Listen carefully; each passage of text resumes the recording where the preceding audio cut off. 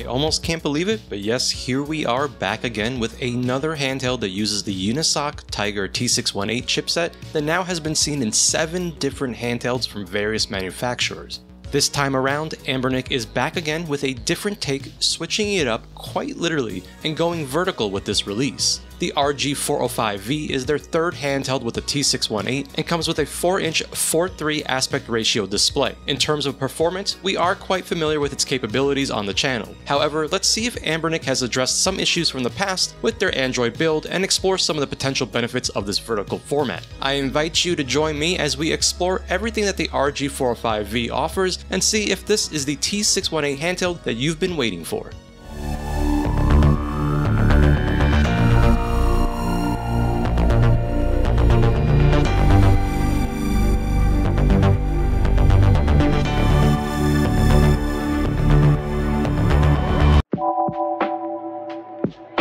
Coming off the intro, let's get to the specs of the Anbernic RG405V. This handheld comes equipped with a 4-inch 4.3 IPS display at a resolution of 640 by 480 and features the very popular Unisoc Tiger T618 with two A75 cores at 2 GHz and 6 A55 cores at 2 GHz and the Mali G52 GPU at 850 MHz. Every configuration comes with 4GB of LPDDR4X RAM and 128GB of internal eMMC storage. In addition, the storage is expandable via the microSD slot and there are various options available that come either with or without a preloaded microSD card. It features Wi-Fi 802.11ac, Bluetooth 5.0, and a USB Type-C port for data and charging. It comes with a fairly substantial 5500 mAh battery which Anbernic claims takes 3 hours to fully charge and has 9 hours of battery life. The RG405V ships with Android 12 out of the box. It is available now direct from Anbernic's website, AliExpress, and Amazon.com, and the cheapest model is available for approximately 138 US dollars. I will have links down in the description if you are interested in purchasing. I'd like to thank Anbernic for sending me this unit for the purpose of this review, and as I always require, this video was not reviewed prior to publishing. Alright, it's time to unbox the RG405, and it's always important to be as gentle as you can. So let's quickly take a look around the box itself, and this is fairly standard Anbernic packaging that is nice and clean. You can see we have various color options available for the RG405, which comes in that DMG gray, a wood grain color, and then the transparent purple. Other than that, there's not a whole lot going on here. So let's get this cover off and reveal what's inside. First thing I can't help but notice the face that greets us inside the package. It always makes me smile seeing it on a lot of these vertical handhelds. Okay, let's remove the 405V and put it aside for a moment while we check out the rest of the contents. Here's a plastic insert to hold the device, and removing this we have everything else revealed. So let's start with the fairly standard USB Type-C to Type-A cable. Next we have the 405V user manual, and this is a pretty simple sheet that does have some useful information to reference. My particular unit does come with an included 128GB game card. Here we've got some wipes so we can properly clean and prep the screen for this included screen protector which is always nice to have. Back to the 405V so we can reveal the device and free it from its baggie. I can already see the Skittles buttons peeking through the plastic. And you can see that I did receive the transparent purple, which is always such a cool color, and it does look really nice here. I do wish I had a purple Game Boy Color to compare the tones, but I will be comparing it with some other purple devices in just a little bit. The 405V is definitely a chunker, but this feels really nice and solid in the hands, and those grips in the back really make this a very different feeling device. Okay, let's tour around the device briefly before we get into the nitty gritty of it. Let's start out at the top of the device, and here you can see we have an indicator light on the right, the exhaust vent for the active cooling in the middle, and then a USB Type-C port which is used for data and charging. Coming around to the left side of the device, here we have the dedicated button to bring up the Anbernic launcher, and below that we have the microSD slot for expandable storage. Let's move down to the bottom of the handheld, and I do really love the smooth curves of this device there are no harsh edges here. At the bottom we have the down-firing speakers and then the 3.5mm headset port in the middle. And then on the right side we have a few more things to make note of, with the power button and the volume up and down rocker placed here at the top. The back of the RG405V has the four shoulder buttons and the intake vent for that active cooling. You can see the large battery also peeking through my transparent purple shell. Now let me hold this at an angle so you can see these pronounced grips that are on the back of the RG405V, which really makes this a nice and comfy handle to hold. It's a pretty unusual design, and I've only seen this on a pretty mediocre handheld, the Doot, which was basically a Powkiddy RGB20S clone. Here's a closer look at these shoulder buttons, which press down nicely and don't require a lot of force. They are satisfying to press down with just the right amount of travel for a button like this. I also like that Anbernic placed these at an angle to accommodate how your fingers will hold the device and rest on these back shoulder buttons. Now on the front side, we've got all of our face button controls in the lower half of the device. This is using a D-pad up top configuration with both analog sticks at the bottom. And of course, we've got the really solid D-pad that has become pretty standard for a lot of the Anbernic devices. This has really solid movement, pivot, and travel when pressing down at the ends. You can see that nice range from side to side at this angle. Below that, we can see how the analog sticks sit above the face of the unit, and these are switch style sticks, so they are on the smaller side. No issues here, they move and click in smoothly. Below the analog sticks, we have the start and select button, which are membrane based and press down similar to the face buttons, which we will check out next. The face buttons are set up in the Nintendo style BAYX configuration, and this transparent purple features the Skittles buttons that my friend Joey from Joey's Retro Handhelds is quite fond of. These feel really great to press down on with a nice amount of travel. They don't have any issues like rubbing against the shell or getting stuck. And at this angle, we can see how they press down and also how the buttons sit above the face of the device. So let's turn this thing on and get going. At first, you will be greeted by this initial configuration process, which will take a few minutes to complete the first time, so we will quickly go through this process. Welcome to the home screen of the RG405V, and if you are accustomed at all with the other Anbernic Android devices like the 405M or RG505, this will look very familiar to you. Now in the past, I've definitely had some mixed opinions about Anbernic's Android build, and for both the 405M and RG505, I am a big fan of Gamma OS, which I've done multiple videos on, and I've heard might be coming to the 405V as well. However, let's take a look and see what's in store for us here. So swiping down from the top, we have the quick access functionality of Android, and here we have various options that are useful. You can see that we have the ability to adjust the performance and set it to higher auto. We have fan controls as well, and there's the option to keep it off, set it to auto, cool, or strong. A few other things are available here, including the option to toggle on the key mapper, switching between Nintendo or Xbox style inputs, and then toggling on the Anbernic front end looking through the installed apps, and this is a pretty clean build of Android that does have lots of emulators preloaded. The RG405V does have Google Play support right out of the box.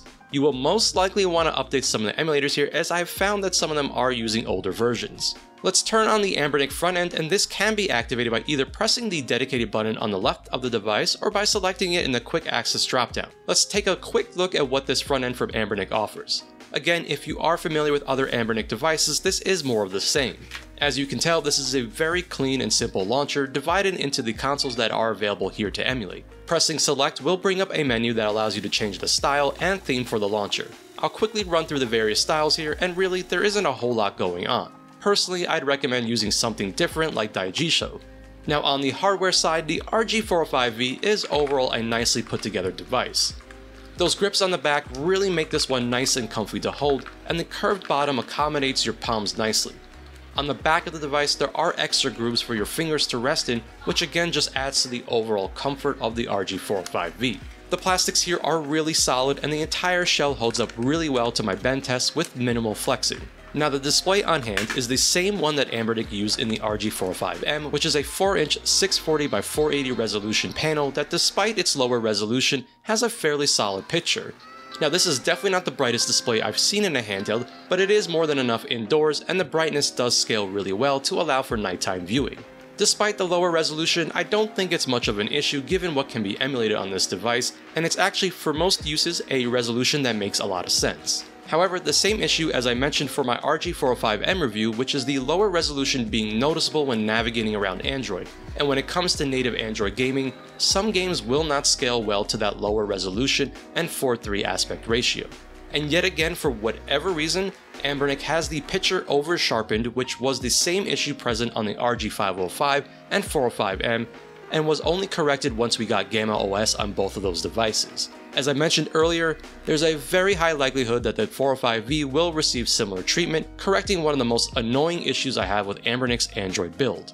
Now for sound, it definitely gets pretty loud, and I was worried that the speaker cutouts were muffling some of the capabilities of the speakers. However, I actually kept the back cover off to compare the differences and didn't find it to be that much of a difference, but I'll leave that one up to you and here's a comparison between the two.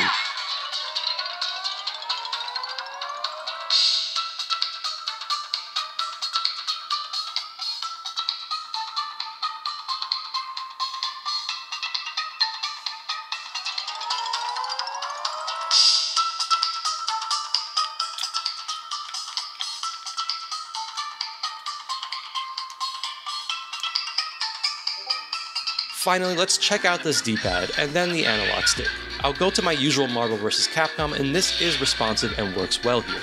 I'm not really having any issues pulling off combos and moving around on screen, and this is pretty standard membrane-based Anbernic D-pad, which I find to be some of the best out of these Chinese handhelds. Lastly, I wanted to check out the analog stick sensitivity, and I'm coming fresh off my Powkiddy X55 review, and those sticks there were overly sensitive. On the 405V, they are definitely much better, and movement is better matched to accommodate the scaling of our on-screen characters, such as Daxter and of course Mario here. I always like using Mario 64 for this test because Mario has a range of speed when moving and what you don't want to see is Mario taking right off with the smallest of movements in the analog stick and so the analog sticks here as you can see are pretty solid. So it's that time that we get some visitors to help us out and size up the RG405 to other handhelds. This time around I've got the assortment of all T618 handhelds and of course let's start out with the RG405V first and get its weight the 405V comes in at just a little over 10 ounces or 286 grams. Next up is another chunky boy, the Retroid Pocket Flip, coming in at 271 grams or about 9.5 ounces. One more Retroid device with the metal version of the Retroid Pocket 3 Plus, coming in at 286 grams or a little over 10 ounces, making it nearly identical in weight to the RG405V and then the non-metal version of the Retroid Pocket 3 Plus, coming in slightly over 8 ounces or 235 grams. Here's Anbernic's other 4.3 T618 handheld, the RG405M, which has a metal shell and this weighs in at a little over 9 ounces or 236 grams. And then the third and final Anbernic T618 handheld, the RG505, which has become a recent favorite of mine thanks to Gamma OS. This one weighs in at 287 grams or a little over 10 ounces, making the RG505 and 405V almost identical in weight. Now moving on to some Powkiddy devices, here is the X28, which actually has the largest screen of all the T618 handhelds. This one comes in at 10.5 ounces or 299 grams. And then the X18S, which is actually the heaviest one here, weighing in at almost 11 ounces or 307 grams. Despite the chunkiness of the 405V and its active cooling, it still manages to not be the heaviest of all these handhelds. Now moving on to some measurements, let's check out the size of these face buttons on the RG405V, which comes in at a little under 7.5mm with an analog stick cap of 14.5mm. The top portion has a thickness of 16.5mm with the bottom half having a thickness of 21mm at the center, and then the curvy handles coming in at a little over 29mm giving us some solid grips on this handheld. In comparison, I wanted to size up the other chunky device, the Pocket Flip, which is a little over 25mm when closed. The face buttons on here are also a little smaller than the RG405V, coming in at 7.1mm and quickly looking at another Anbernic device to compare against, the RG405M which has those standard Anbernic sized face buttons at 7.6mm, and as a reminder here is the Retroid Pocket 3 Plus which has the smallest face buttons coming in at 6.5mm, and it's also one of the thinnest T618 handhelds measuring in at a little over 14mm. And finally, I thought it would be fun to grab a few other transparent purple devices that I have in my collection and compare the colors between these handhelds. I've got some cool devices here with the RG353V, Miyoo Mini Plus, Retroid Pocket 3 Plus, and of course the RG405V. Right off the bat, the Miyoo Mini Plus has a completely different transparent purple that's going on here. And then comparing the RG353V, which is another Anbernic device, these shades of purple here are quite similar. I think what throws it off a little bit is that Anbernic went with a really cool white motherboard on the RG405V. And finally, here is the Pocket 3 Plus, which definitely has a deeper purple tone compared to the grayer tone of the RG405V. I really do wish I had a purple Game Boy Color to compare and see which is closest to that color. Okay, enough of that, it's time for one of my favorite segments, and let's tear the RG405V down and see what interesting things await us. Let me size up the bit first, and as Anbernic always does, the shell is using hex screws and it looks like the 1.5mm hex bit will do the trick. There are 6 total screws holding the back cover in place, so let's go ahead and quickly get these out so we can remove the cover and take a look inside.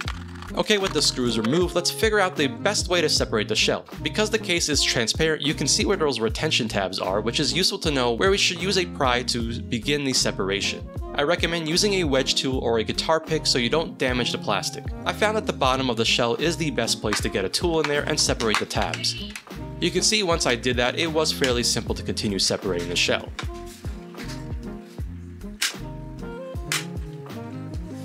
Here's a look at the other side of that back cover and we can see how these shoulder buttons are set up here.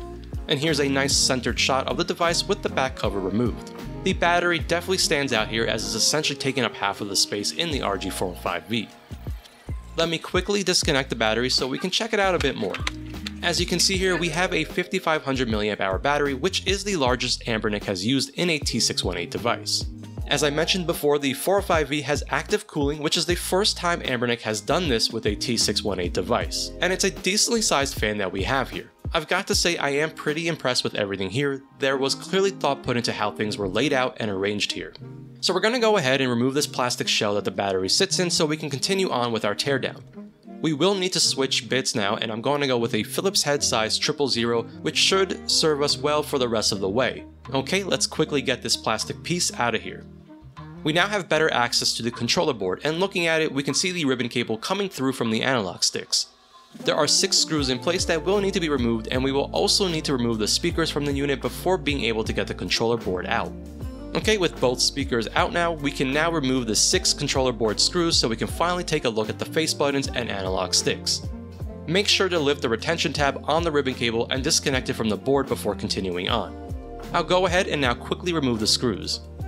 One last thing, make sure to disconnect the ribbon cable for the display, and again it is held into place with a retention tab, so make sure to lift it up and then pull the cable out gently. Once all of that is done, the board will come out very easily. You can see how clean this board is, and on the opposite side the board is printed in white since this is a transparent shell and as a result will look really sharp with that white showing through. Okay, so now we can finally get a closer look here, and as I suspected, the analog sticks are replaceable without much issue, which is always good to see here. Now personally, I am curious about these face buttons as they appear to be a little bit different than what I've seen on other Anbernic devices. So off camera, I went ahead and disassembled my RG353M, which uses pretty much what I'd consider standard Anbernic face buttons. In fact, these were swapped in for my RG405M, and so most of them are interchangeable. Unfortunately for the RG405V, these are not interchangeable and they are different than what we've seen in other Anbernic devices. Now the issue isn't the diameter of the buttons as they do clear the inside of the shell, instead they are actually a different height, with the RG405V face button being a bit taller. Not only that, they are keyed differently, and so the A button will be placed in a different orientation on that 405V. Here's a closer look at how the A button from the RG353M and 405M sit inside of the shell, and you can see how I have to keep rotating it to fit properly since it is keyed differently. Once I am able to get it to sit correctly, you can see how the A button is upside down on the 405V, but not only that, it is much shorter, and so long story short, the face buttons on the 405V are unique to this device. And with that, I think we've learned a lot here, and now it's time to move on and check out some synthetic numbers and see if the 405V is keeping up with the other T618 devices on the market. And numbers here are looking really good. I have the 405V set to its high performance mode, with the fan set to the highest setting in order to push the numbers as high as possible. First up with Geekbench 6, you can see that the 405V on this stock Anbernic firmware is keeping up there with the best of them in terms of performance and matches what we expect from this T618. The same story can be seen here with the Antutu benchmarks, and again, numbers are definitely close to what we've seen with the Retroid Pocket 3 Plus, and on par with what I would expect from the T618 running in a higher performance setting. Finally, let's check out the 3D Mark Wildlife benchmark, and surprisingly, I was able to get the best numbers out of all the devices with the 405V coming in at 743.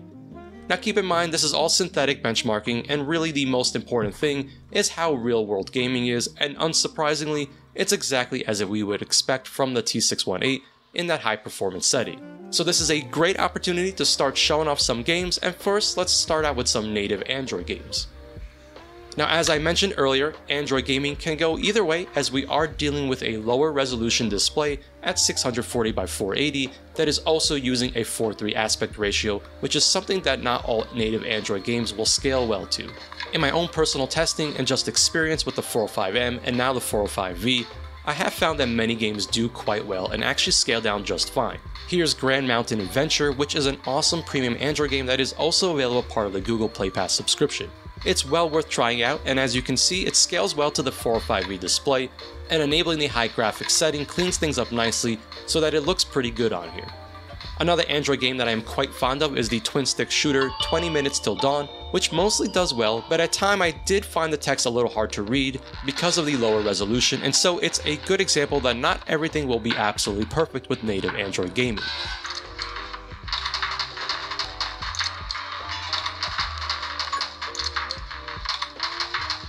Finally, one last Android game and another that's part of the Google Play Pass. Super Mombo Quest is an incredible platformer that really is worth anyone's attention, especially if you are interested in this style of game. This one is another example of a game that does scale well to the lower resolution display with text that is fully readable. And before we move on from native Android games, let's check out the built-in gamepad mapping feature, which is definitely going to be useful for something like Genshin Impact and a game that is playable on a device like the RG45V, and will change the entire experience, allowing one to make use of the controls built in here. So it's pretty simple to bring up the gamepad mapper by simply using the pull down quick access menu built into Android.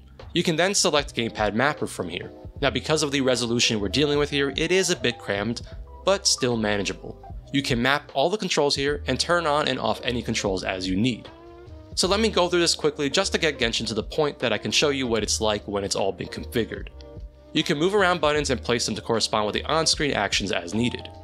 In addition, you can activate the left and right analog sticks, and once that is done, you can also adjust the sizing of them. For the right analog stick, you have the ability to toggle its behavior, which is useful depending on the game that you are playing. Once you have everything the way you like, you just simply hit save and select switch to activate the controls and then close the window. You can now easily control Genshin Impact with the built-in controller of the 405V, which makes this a pretty pleasant experience here on this device.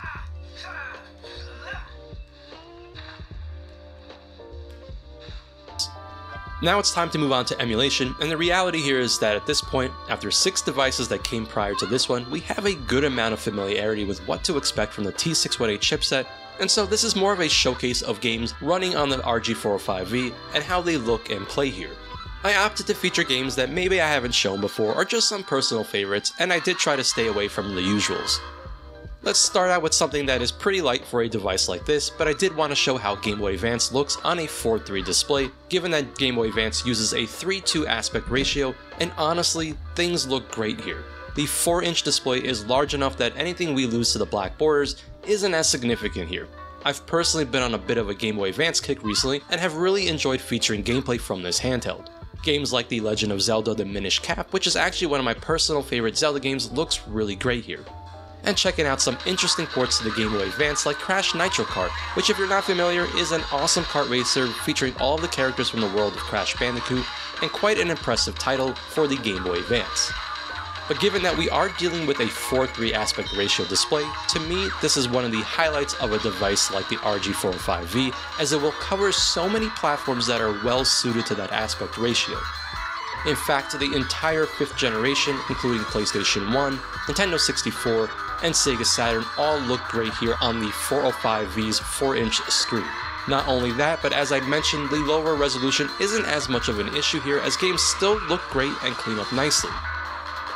PlayStation 1 emulation with DuckStation is as expected very solid since the T618 provides more than enough power to run this generation, as well as the other 5th generation consoles without much trouble.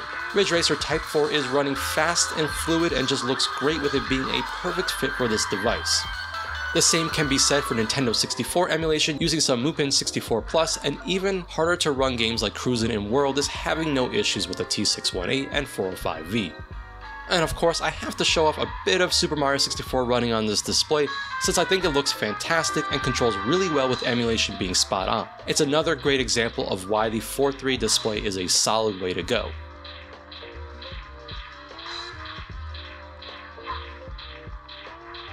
And saving one of my personal favorite platforms, the Sega Saturn with Yaba Sanshiro is performing really well on the 405V, and the Unisoc T618, which is a platform that is definitely much more difficult to emulate.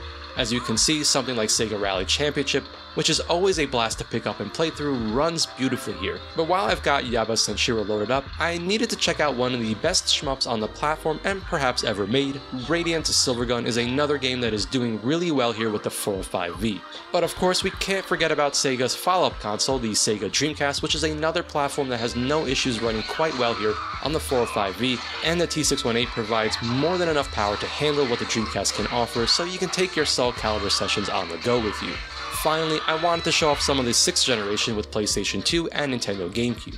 Now, as I've mentioned many times in various videos, I always like to consider PS2 and GameCube emulation as a bonus for this kind of device that is powered by the T618. Now, the 405V will certainly not play all the games available to us on these consoles, but given the large library of the PlayStation 2, there is still a significant number of games to enjoy.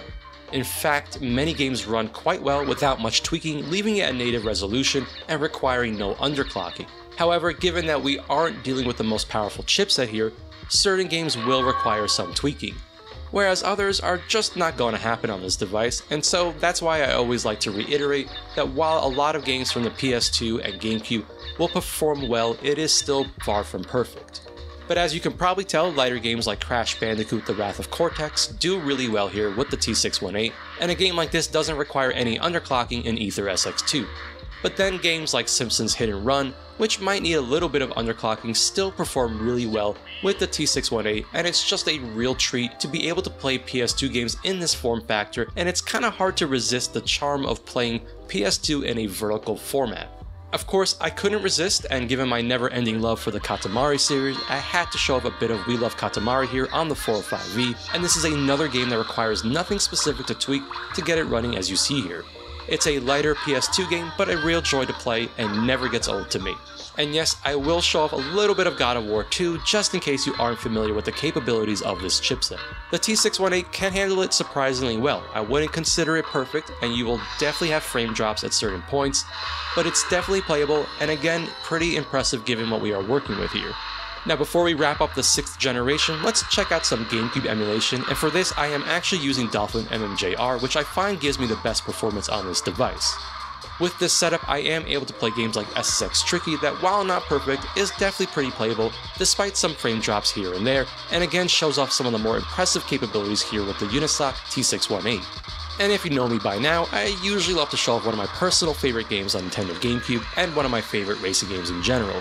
Wave Race Blue Storm is always a gorgeous game to show off and does quite well here without many issues, and similar to PS2, we will definitely have a range of performance depending on the GameCube game you are trying to play, as well as which build of the Dolphin emulator you are using. Now for one last platform I wanted to talk about on the 405V, which is the PlayStation Portable. The PSP was a handheld that utilized a 16:9 widescreen display, and so obviously it's not going to be the best match for this handheld. And if you are really wanting to play strictly PSP games, I do believe some of the other T618 options would be a better fit. However, I know many don't mind playing PSP on a 4-3 display, and so you've probably seen some Ridge Racer playing in the background with a stretched image. And while not my personal favorite way to play, I did want to demonstrate what it looks like here on the 405V. However, you can definitely set PPSSPP to use the PSP's native aspect ratio and play with black borders on the top and bottom if you're a stickler for preserving the correct aspect ratio. With a 4 inch display here, it's not the worst experience, but ultimately I recommend another T618 device if PSP is one of your main platforms, since the T618 has more than enough performance to handle the PSP library. And as I always do, let's check out what we're looking at here with battery life on the 405V after all of this gaming. The 405V is equipped with a 5500 mAh battery, and so I was pretty excited to see how things would fare in terms of battery life here compared to some of the other devices. First up, I'll go ahead with my usual lighter test with the Yoshi's Island for the Super Nintendo, and with that 5500 mAh battery, the 405V using 50% brightness, 50% volume, the fan off, and the CPU set to the auto mode, we managed to hit over 18 and a half hours of battery life, which is incredibly good and one of the better performing handhelds I've personally tested. I imagine that with the potential for Gamma OS, we can see those numbers go up even more. And then on the opposite end, pushing the 405V with a harder game to emulate, we have God of War 2 running with that high performance CPU mode and the fan turned off at 50% brightness and 50% volume. The 405V was able to manage just a little over 4 hours of battery life, which I do think is pretty solid. Finally, let's get a read on some of the surface temperatures of the device, as I suspected that with the active cooling, things will be staying nice and cool to the touch.